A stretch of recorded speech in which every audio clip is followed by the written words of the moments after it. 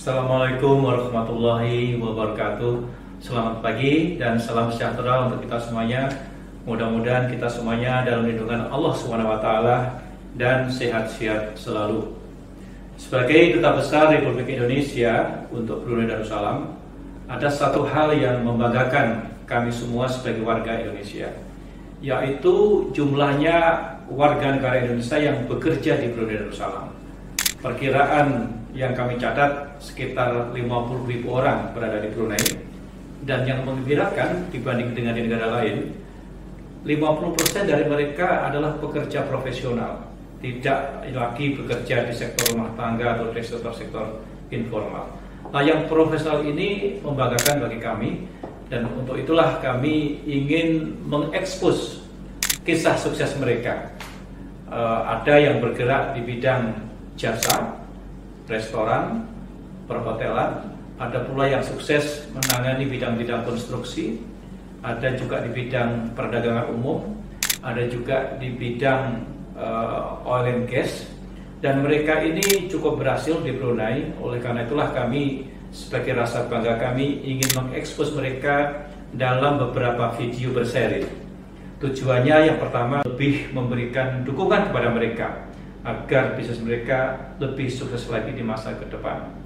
Yang kedua tujuannya adalah untuk memberikan eh, dorongan-dorongan uh, atau inisiatif-inisiatif bagi warga negara Indonesia yang lain agar dapat pula ikut sukses seperti mereka yang berada di Brunei. Dan yang terakhir, dan ini tentu penting sekali, adalah untuk memberikan inspirasi kepada warga negara Indonesia lain yang baik yang ada di Brunei maupun di mana saja di dunia ini untuk ikut pula berbisnis untuk sukses bersama mereka. Sahabat KBRI BSB, kali ini mari kita lihat langsung outlet Wardah, salah satu merek kosmetik Indonesia yang telah merambah pasar Brunei. Lokasinya terletak di pusat perbelanjaan terkenal di Bandar Seri Begawan. Toko di Brunei merupakan outlet pertama Wardah di luar negeri.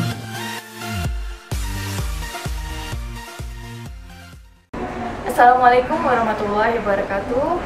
Bapak Ibu sahabat KBRI, saat ini kita berada di counter Wardah Brunei. Saat ini uh, kita ada Ibu Kartika Siwi dan Bapak Ferial Ferrari. Bapak Ferial ini adalah founder dan kemudian Ibu Kartika adalah co-founder dan direktur dari Takniah Al Kadra SDN BHD.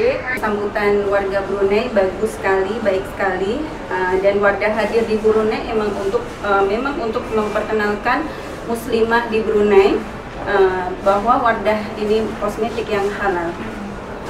Walaupun challenging tapi untuk kita ini kita jadikan suatu uh, batu loncatan seperti itu. Jadi bahwa ini memang uh, keadaan seperti ini. Kita kita tidak bisa berbuat banyak.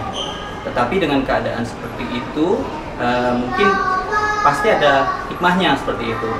Misalnya dengan tidak banyaknya orang Brunei yang pergi keluar, justru uh, sebelum itu pun penjualan kita semakin meningkat. Wardah adalah pionir kecantikan kosmetik kecantikan yang mana dia uh, bersertifikasi halal sejak tahun 1998 dan perkembangannya sangat pesat uh, dari tahun ke tahun.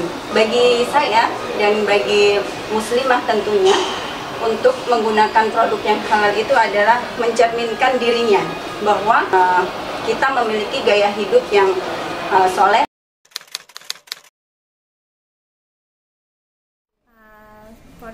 suka di Wardah ialah dua produk ini. Satu lagi Wardah CD Fan Bed Vitamin Creamy Wash. Satu lagi Wardah CD Fan Bed Vitamin Mask.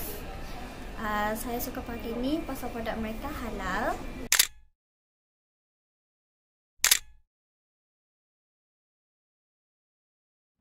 It's a premium skincare from Wardah called Wardah Crystal Lure. Okay, I've been using Wardah uh, already almost two weeks. Okay, so far um, dalam dua minggu ni, I feel like ada perubahan my skin, uh, which is I find it um, now lembut, glowing. uh, not I'm happy so much I'm using this. I don't regret um, buying this product and I'm so happy. I hope you all also will buy this product from Wardah. I think it's um, value for money and a good investment for your skin. Uh, kami sudah pernah ikut uh, exhibition bersama KBRI waktu itu dan itu memang alhamdulillah itu juga memperkenalkan Wardah juga uh, sambutannya pun luar biasa bagus dan penjualannya pun alhamdulillah bisa dibilang itu uh, pencapaian buat kami. Semenjak dari awal pandemik justru dari awal pandemik itu kita melihat itu ada kenaikan 30% sampai-sampai kita kewalahan terus terang kita kewalahan dan kita menggunakan jasa pihak ketiga untuk untuk apa uh, membantu kita untuk mendistribusikan seperti ini. Seimbangkan niat untuk berdagang yang bersifat dunia dan ibadah. Karena misi seorang muslim adalah tidak sekedar sukses di dunia tetapi juga di akhirat. Tawakal dan jangan berlebihan. Dan proses hargai prosesnya kemudian uh, tawakal terhadap hasil yang uh, kita dapatkan. Baiklah, uh, Bapak Ibu sahabat KBRI, kita telah saksikan tadi bincang-bincang uh, dengan Bapak Ferry dan Ibu Kartika. Terima kasih banyak Pak Ferry dan Ibu Kartika telah meluangkan waktunya untuk bincang-bincang dengan channel KBRI dengan uh, di sini Bapak Ibu sahabat KBRI bisa mendapatkan informasi yang bermanfaat. Uh, kami doakan semoga wadah Brunei terus berjaya. Amin.